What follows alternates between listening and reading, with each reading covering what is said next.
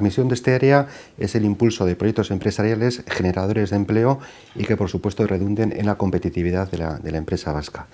Dentro de, estos ámbitos de, actuación o de estos posibles proyectos, yo hablaría de tres, tres clases. Primero, proyectos que provengan de las empresas ya existentes en Euskadi, del tejido empresarial existente, nuevas actividades empresariales a través del emprendimiento e intraemprendimiento y proyectos que provengan del, exterior. Desde el área de promoción empresarial atacamos estos tres frentes a través de nuestras actuaciones en emprendimiento, desarrollo industrial eh, Invest in the Basque Country, atracción de inversión de fuera de Euskadi y la dinamización de los clústeres.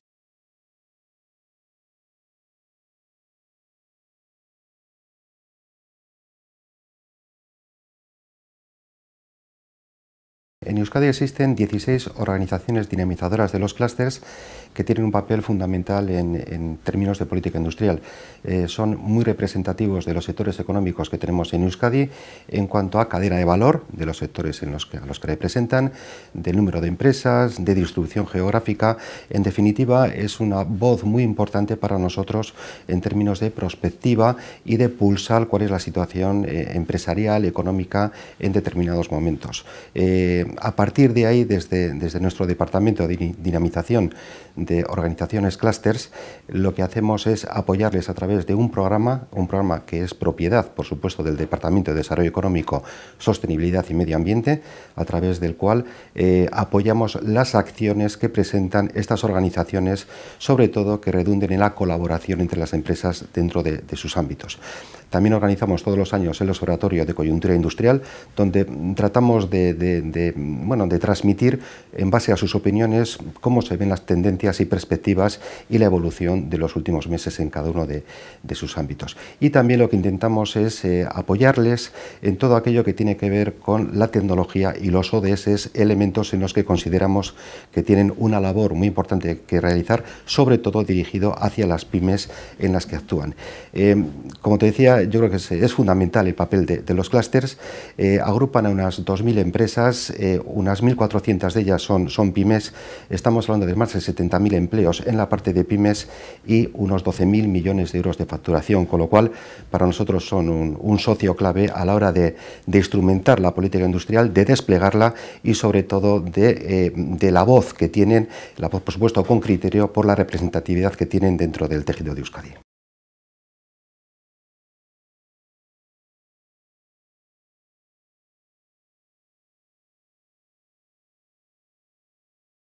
Una de las claves del desarrollo de, Euskadi, hablando por supuesto del tejido empresarial, eh, se basa en el desarrollo de las potencialidades actualmente existentes, pero no tenemos que olvidar las nuevas actividades empresariales que se deben generar y que por supuesto van a ser las futuras empresas en, los próximos años.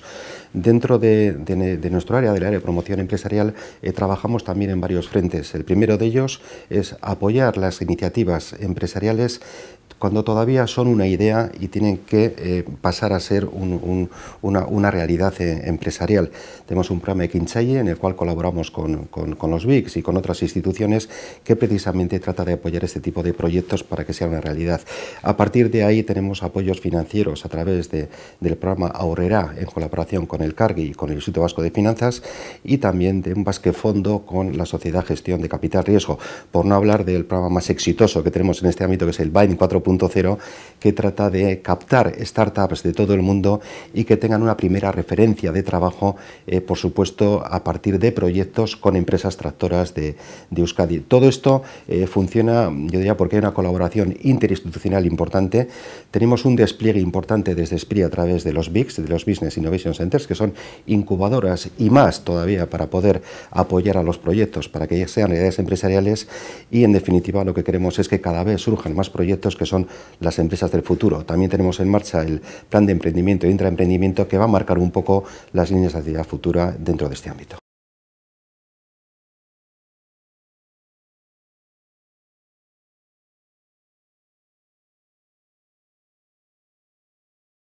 En el ámbito de Investing the Basque Country, básicamente se realizan dos, dos actuaciones. Eh, la primera es eh, tratar de captar proyectos del exterior para Euskadi y con especial interés en, las áreas prioritarias de, actuación que tenemos, que están marcadas sobre todo por, por la RIS-3. Y una segunda, que es también muy relevante, es lo que denominamos el aftercare, que es tener una especial, una especial atención a empresas extranjeras que están instaladas en, en, Euskadi. El diferencial es que tienen participación extranjera, pero a todos los efectos para nosotros son empresas vascas, por supuesto, como, como, como, como cualquiera otras. Pero, desde luego, sí creemos que tenemos que hacer un seguimiento especial, sobre todo para proyectos de inversión que se puedan generar dentro de estas empresas ya instaladas y no solo de aquellas que vengan del, exterior. A partir de ahí, pues hacemos una labor eh, bueno, bastante sistematizada.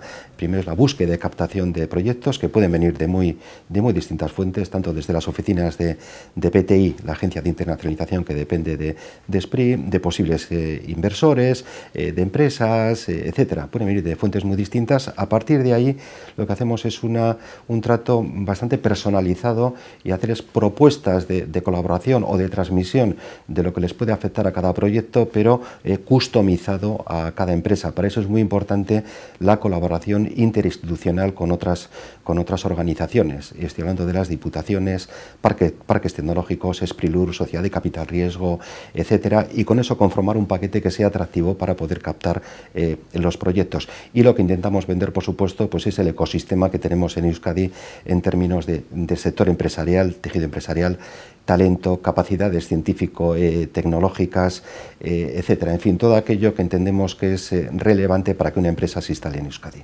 Además, estamos ya también, eh, vamos a poner en marcha en breve el plan estratégico de Investing de Basque Country que nos va a mandar, nos va a marcar las líneas estratégicas de futuro dentro de este ámbito.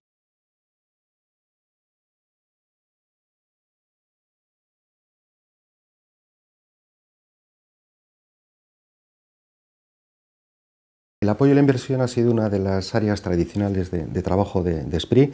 Eh, SPRI nació en el año 1981, en una época de gran crisis y gran reconversión eh, en, el, tejido industrial eh, y en estos 40 años pues, ha habido distintas coyunturas.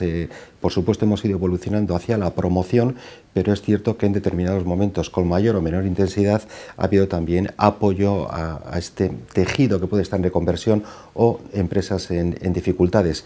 actualmente Actualmente, derivado del COVID, pues por supuesto eh, y por desgracia, existen empresas que están en dificultades y existen zonas desfavorecidas que están en desigualdad de condiciones o con un diferencial negativo respecto a la media de Euskadi.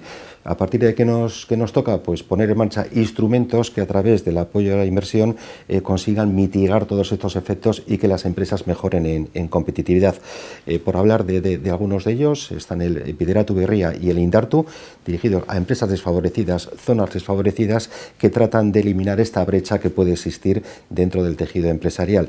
Tenemos también los programas Gausatu e Industria 4.0 que apoyan la inversión, ya no dirigido a empresas en dificultades, sino a todo el tejido empresarial, pero sobre todo a proyectos con base tecnológica innovadora o en el mundo de la industria 4.0.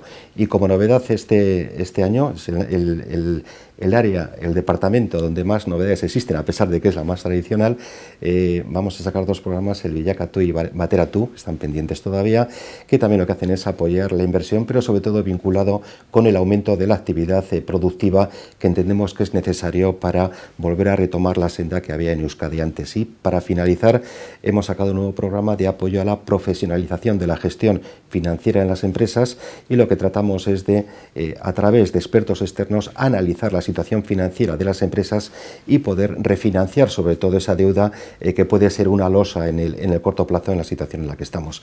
Este es un poco el abanico que tenemos dentro del departamento y esperemos que consigamos con esto pues bueno, apoyar la competitividad y ayudar a que la situación eh, mejore, sobre todo aquellas empresas que están en peores condiciones.